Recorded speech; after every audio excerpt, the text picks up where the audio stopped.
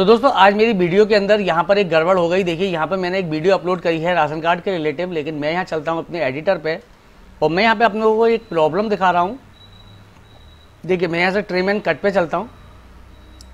और यहाँ से देखिए, मेरे पास मेरी वीडियो है, मैं वीडियो को यहाँ पर साउंड को कर देता हूँ मूट और यहाँ से इसको प्ले करता हूँ। तो देखिए, ये मेरी वीडियो आ गई। मैं वीडियो को यहाँ पर थोड़ा सा आगे बढ़ाता हूँ।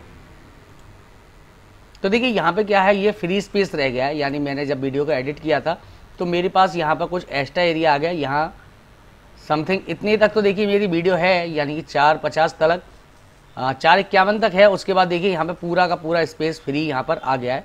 तो इस कंडीशन में अगर आपको अपनी वीडियो को ट्रिम करना है, यानी कि आपको इसे फालतू के एरिए को अगर हटाना है, भाई हमारी वीडियो है, हमने वीडियो यूट्यूब पर अपलोड कर दी वीडियो पर व्यूज़ आ गए, अब हम इस वीडियो को यहाँ से अगर हम डिलीट करके दोबारा से अपलोड करेंगे तो ये सारे व्यूज़ बेकार चले जाएँगे और जो वीडियो हमारी यूट्यूब सर्च में आ चुकी है, वो सब बेकार हो जाएगा।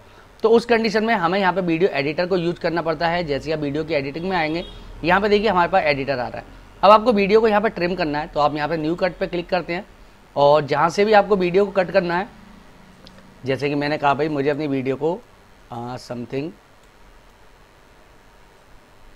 यहाँ से शुरू करना है, और ये एंड तक पूरा पार्ट मुझे यहाँ पर डिलीट करना है। ठीक है? तो अब जैसे आप देखिए, यहाँ पे आपने एरिया सिलेक्ट कर दिया कि भाई हमें ये वाला एरिया यहाँ से हटाना है। अब यहाँ पे आप जैसे इसको सेव करना चाहेंगे, यानी इस एरिया को कट करना चाहेंगे तो आप इसको कट नहीं कर पाते हैं। तो आज मैं इसी एक प्रॉब्लम का आपको सॉल्यूशन बताऊँगा कि अगर आपके पास कोई एक वीडियो है और अगर आप उस वीडियो के अंदर से पर्टिकुलर पार्ट को डिलीट करना चाहते हैं और डिलीट नहीं कर पा रहे हैं तो आप उसको कैसे सॉल्व आउट करेंगे? देखिए, इस कंडीशन में क्या होता है कि जैसे आप वीडियो कट करते हैं तो हमारी वीडियो के अंदर क्या होता है, यहाँ पे एंड स्किन लगे होते हैं। देखिए, ये यहाँ पर चार फाइलें दिख रही हैं, जो हमारी एंड स्किन है। अब जब तक ये चारों हमारी एंड स्किन नहीं हटेंगी, जब तक हम इस वीडियो को यहाँ पर ट्रिम नहीं कर सकते। तो हमें क्या करना पड़ेगा? हम यहाँ चलते हैं अपनी डिटेल्स के अंदर वीडियो के अंदर, और यहाँ पे जो हमने अपनी एंड स्किन दी है, इस पर क्लिक करेंगे, और हम इसकी एंड स्किन को यहाँ से रिमूव करेंगे। तो हम यहाँ से इन सभी पार्ट्स को डिलीट कर देंगे। देखिए, ये हमने डिलीट कर दिया और इसको सेव कर देंगे। यानी हमने अपने वीडियो के अंदर कोई भी एंड स्किन नहीं लगाई है अब। अब हम फिर से चलते हैं अपनी वीडियो के एडिटर में। तो देखिए, हमारे पास हमारी वीडियो आ गई, जहाँ से भी हमारी वीडियो का पार्ट एक्स्ट्रा है। यानी देखिए, यहाँ से हमारी वीडियो खाली है। देख रहे हैं आप? अब हमें क्या करना है? वीडियो को यहाँ पर ट्रिम करना है। तो हमने यहाँ से क्लिक किया ट्रिम एंड कट पे गए एंड न्यू कट तो हमारे पास यहाँ पे कट आ गया। अब आप यहाँ से लेके और एंड तक सेलेक्ट कर लीजिए। ये राइट का सिंबल आ रहा है, इस पर आप क्लिक करिए। जैसे आप राइट पर क्लिक करेंगे, देखिए सेव का ऑप्शन आ गया।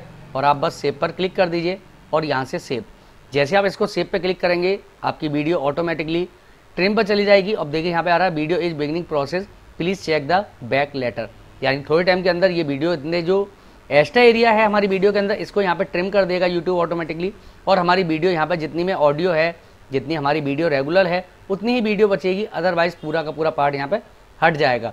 अब देखिए वीडियो की जो हमारी लेंथ है, वो है आठ मिनट पंद्रह सेकंड की. अब ये वीडियो ट्रिम होने के बाद आपको नॉर्मली समथिंग साढ़े चार मिनट की बचेगी. उसके बाद का जितना भी पर्टिकुलर एरिया है, वो यहाँ से ट्रिम हो जाएगा. मैं वीडियो को थोड़ा सा बैक कर लेता हूँ ताकि आपको दिखाऊँ। और यहाँ से बैक करता हूँ। और थोड़ा सा और एक स्टेप तो देखिए, अब देखिए यहाँ पे आ रहा है चेकिंग यानी वीडियो हमारी एडिट मोड पे चली गई है और वीडियो अभी यहाँ पे हमारी चेक हो रही है। ऊपर आप देखेंगे तो यहाँ पे लिख रहा है check are the running on your YouTube editor video तो यहाँ पर दोस्तों आप इस तरीके से अपनी यूट्यूब की वीडियो को ट्रिम कर सकते हैं कट कर सकते हैं वीडियो को ऑनलाइन एडिट कर सकते हैं, ताकि आपकी वीडियो के ऊपर जो व्यूज़ आए हैं वो आपके बेकार ना जाएँ।